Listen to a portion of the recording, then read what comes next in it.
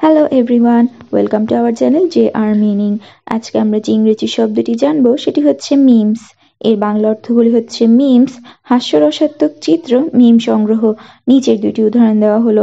প্রথম উদাহরণটি হচ্ছে memes are a popular way to express humour online আমি আবারও বলছি memes are a popular way to express humour online এর বাংলা অর্থটি হচ্ছে মিম অনলাইনে হাস্যরস প্রকাশ করার একটি জনপ্রিয় উপায়।